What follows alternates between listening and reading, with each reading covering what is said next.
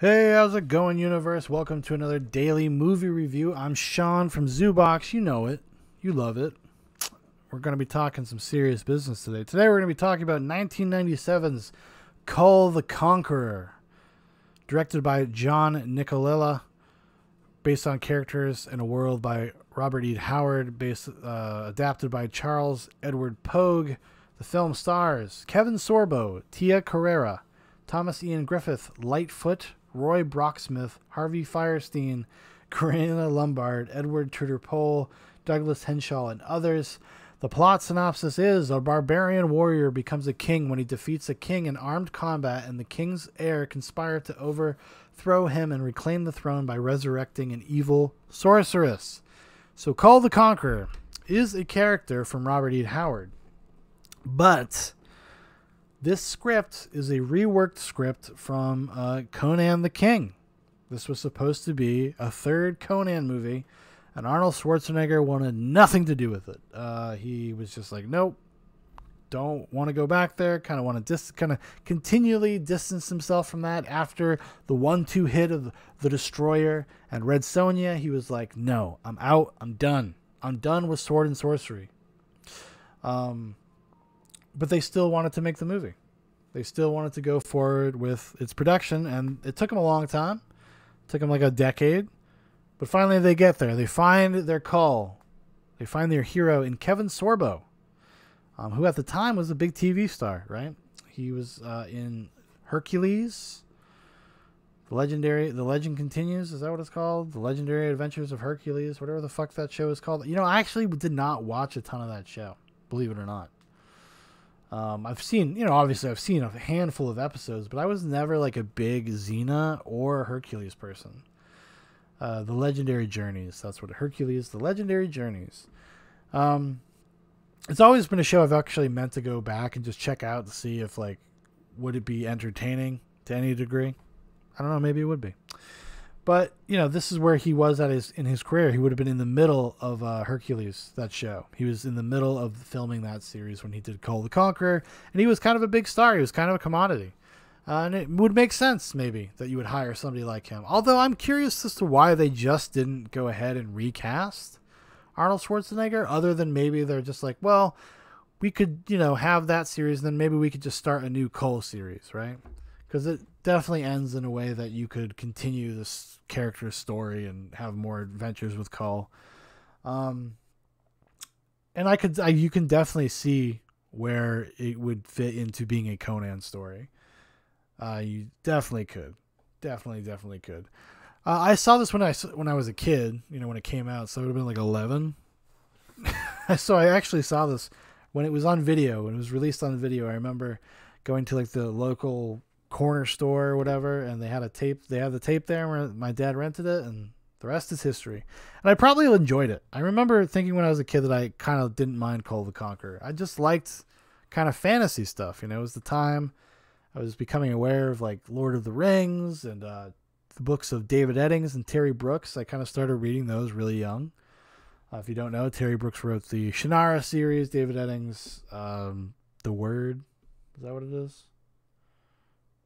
So he has a bunch of different series, but they all take place in his universe. I'm blanking on it right now, but anyways, so I was just reading a lot of fantasy stuff at the time, kind of getting into it, and just to see any kind of representation of it on screen was kind of you know fun. It was thrilling, and also your threshold when you're a kid, not super high, right?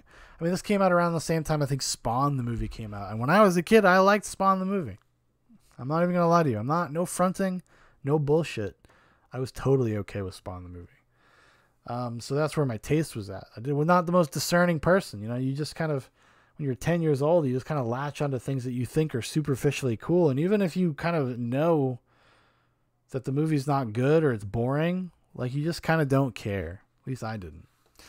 Um, there's a lot of fun things to to notice. Like when I was older, I was it has Thomas Ian Griffith, who when I was watching it this time, I had you know that that uh that Leonardo DiCaprio meme where he's got the beer and he's like pointing at the TV. I had one of those moments because I was like, oh, that's the bad guy. That's Valek from John Carpenter's Vampires.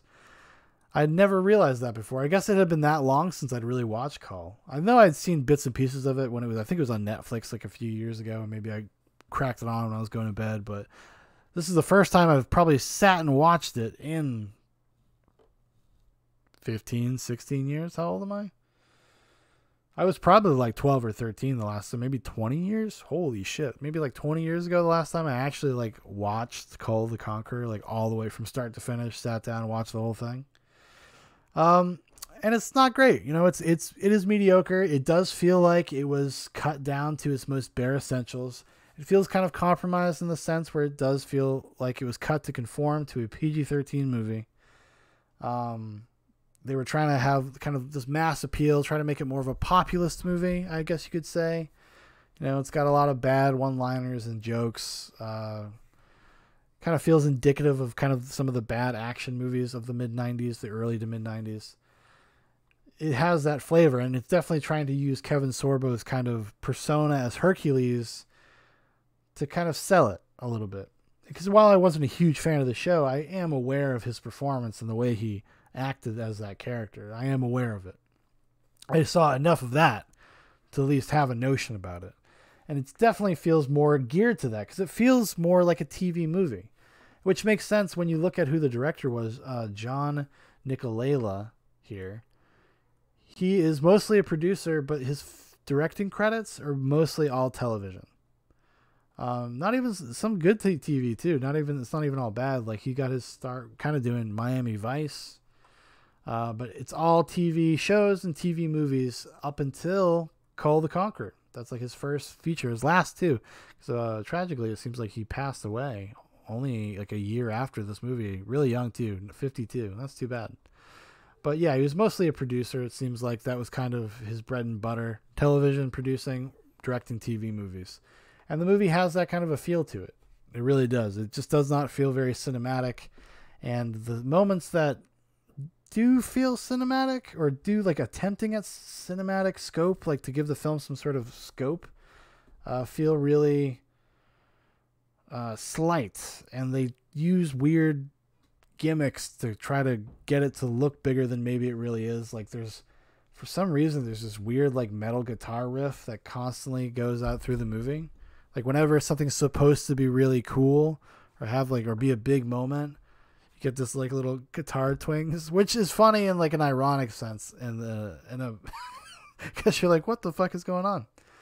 What like it's just like so try hardy cool. Like in the same way that like if you've seen ever seen Last Action Hero, which I think is an incredibly underrated movie, um, the Jack Slater series has like this real like has like Megadeth music playing, even when it's like an emotional beat. Like there'll be like a Megadeth song it has that kind of same vibe because of the movie Last Action Hero is like parodying that about movies, and this movie actually is doing that, which is funny because this comes out after Last Action Hero, so that's how self-aware they were while making this.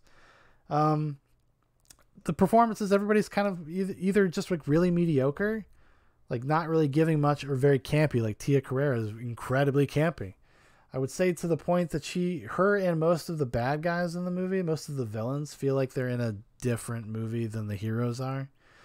Um, which feels again kind of like a TV thing, like a TV conceit where they just have, they're just kind of bigger to create a bigger presence or juxtaposition. Because then, if a TV show, you need your villains to be a little bit bigger so you get the sense that they're bad because you have 45 minutes to deal with them, right?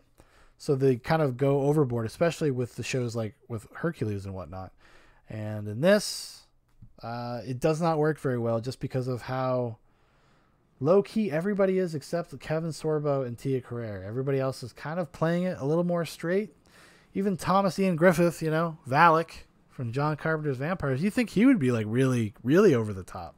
He is in Vampires. Jack Crow. Uh, you know, he is a vampire, so you think he'd really be giving it here, but no, he gives kind of more of a subtle performance for some reason. It's like a director not being able to control the tone of his movie or what he wants his actors to achieve and impart to the audience. Like he's kind of like feels like everybody's just doing what they want.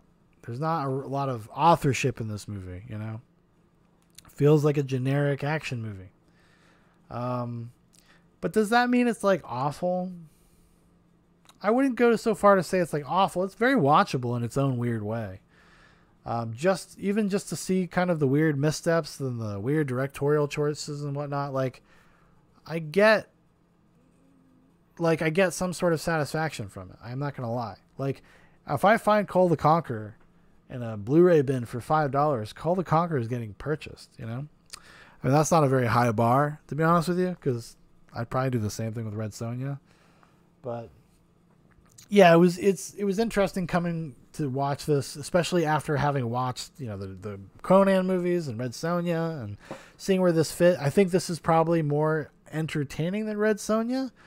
Red Sonja may, might have a slight edge because it's just got that aesthetic, that 80s kind of kitschy, campy vibe. This is a little played a little more straight, even when some of the performances are over the top and some of the stuff that happens in the third act. Uh, it's almost like too self serious. It doesn't have enough self awareness. And it kind of needed to. It needed to have a little bit more self awareness. Whereas something like Red Sonja, while it's not self aware, um, it's earnest and it's kind of dumbness. This one is kind of like half and half. It can't decide whether it wants to be have like meta self awareness or if it's going to be played really seriously. I just don't think the director was able to kind of modulate that in a way that felt satisfying in the end um, as a story. But as just a moment to moment watching it, it's it's dumb fun. You know, this is one of those I think a good a good case study for why uh, marijuana should be legal. why Shaun should be able to uh, fucking eat some edibles and watch some fucking cartoons, watch some Kull the Conqueror. For some reason, I don't know why. Like the older my wife and I get, not neither of us are like big potheads, or ever really were. She a little bit more than me back in her youth, but like I never really was. But now that I'm older, I'm just constantly like, man, I would just love to fucking chill out, put the kid to bed, fucking r- rip a bong, and just like watch something and actually get into real relaxation mode. I feel like you know something like maybe an edible, maybe some some pot gummies or something, and Kull the Conqueror would be a fantastic pairing for a Saturday night. Honestly, I do. I think some of the, there's parts of this movie that if I was high enough, it would blown my fucking mind. One of the last times, little this is totally besides the point. I'm done talking about Kull, by the way. so I was I was really high one time. My brother got me really high, and we were at the time uh, South Park. The Stick of Truth came out, and I'm fucking and I'm not a you know I didn't smoke very often. Like maybe in that at that time it was probably the first time I had smoked in a couple years. And I'm stoned out of my fucking mind. I'm sitting on the couch. We're playing Stick of Truth, and there's a part in Stick of Truth where you get shrunk down and then you have to fight the underwear gnomes. And while your parents are having sex above you and you have to like dodge your dad's swinging balls and your mom's swing, swinging saggy tits and i was losing my fucking mind. It was one of the funniest things i've ever seen. I couldn't breathe. I've been transported to another reality. I felt like i had like blood vessels popping in my brain as i'm trying to keep it together. I want that experience but i want it with Kull me and kevin sorbo so come on you know let's go if you want to secure my vote legalize marijuana. Do it. All right, everybody. Thank you for watching. Thank you for listening. If you'd like to know more about Zoobox, you want to keep up to date with everything Zoobox Nation, there are a bunch of links in the description for Facebook, for Instagram, for my personal Twitter, and also Dan's personal Twitter. It's at Deegster2, so go check out his stuff. Also, if you would like to make a recommendation for one of these daily videos or something for Zoobox Goes to the Movies, throw it in the comments section and we'll put it on the list and give it a good old considerations. All right? Goodbye.